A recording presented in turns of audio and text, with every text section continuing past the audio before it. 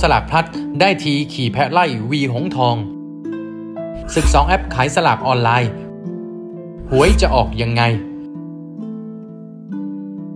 ไทยมุงโซเชียลรุมกันชมความบันเทิง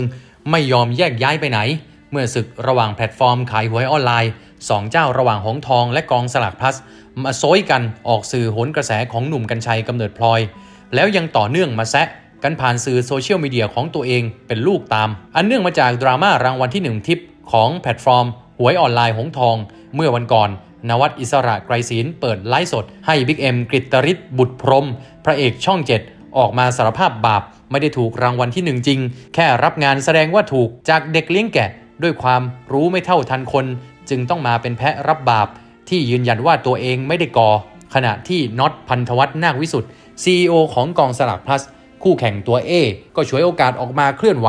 ถึงกับผสมโรงกระทืบซ้ำกับดราม่าดังกล่าว ได้โพสต์ข้อความผ่าน Facebook หลังจากการถแถลงข่าวว่า Big M แถลงยอมรับไปแล้ว ว่าเป็นการจัดฉาก แต่เรื่องยังไม่จบครับ Big M ต้องออกมาตอบอีกทีว่า รูปนี้คือมือใคร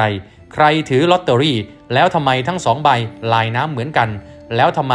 ไม่มีรูแม็กแล้วทำไม บิ๊กเอ็ม ถึงนำมาลง IG ตัวเอง คนจับลอตเตอรี่ถ่ายรูปรู้ไหมครับ ว่าใบหนึ่งปลอมแน่ ๆ หรืออาจจะปลอมทั้งสองใบ ตอนนี้มันมีข้อหาเกิดขึ้นแล้ว คือโดยทุจริต หรือโดยหลอกลวงนำเข้าสู่ระบบคอมพิวเตอร์ ซึ่งข้อมูลคอมพิวเตอร์ที่บิดเบือนหรือปลอม ไม่ว่าทั้งหมดหรือบางส่วน หรือข้อมูลคอมพิวเตอร์อันเป็นเท็จ โดยประการที่น่าจะเกิดความเสียหายแก่ประชาชน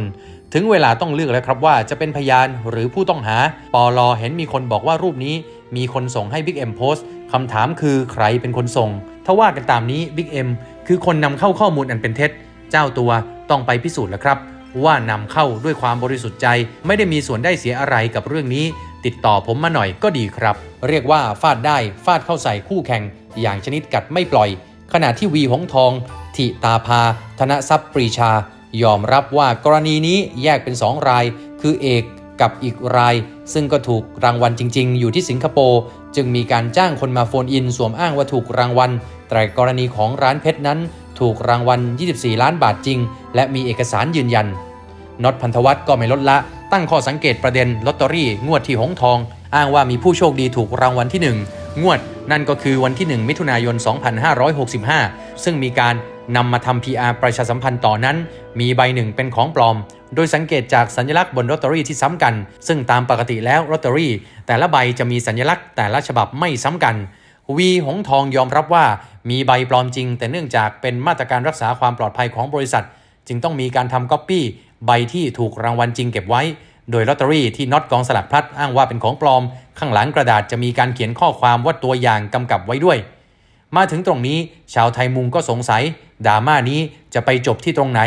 น็อตยืนยันว่าโดยส่วนตัวจะไปฟ้องพรบคุ้มครองข้อมูลส่วนบุคคล หรือ PDPA เพราะถูกละเมิด ถึงแม้ว่าภาพจะเบลอหน้าไว้ แต่ใครมองก็ทราบว่าเป็นตัวเอง พร้อมกับโพสต์ Facebook ว่านางพลาดมากนะ เปิดศึกกับนวัดเปิดศึกกับพนักงานเก่า ซึ่งไม่ควรทำเลย ยังยังไม่พอ หันมาเปิดศึกกับน็อตกองสลากพลัสอีก อุตส่าห์คุยด้วยดีๆ ตอนแรกคิดว่านางแซะเฉยๆ แต่นางล้ำเส้นไปหน่อย